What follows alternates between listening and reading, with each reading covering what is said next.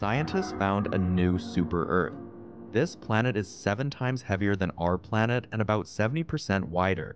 So, if you weighed 80 kilograms here on Earth, you would now weigh 180 kilograms on this planet. And because this planet is inside the habitable zone, there could be liquid water on the surface and potentially even life. You could fit more than three times as much land on this planet compared to the Earth. So just imagine how big the continents could be. This planet orbits a small, cool M dwarf star located approximately 137 light years away.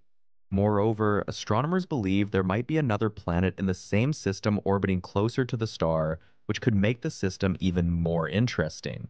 So, the only question I have is do you want to move there permanently?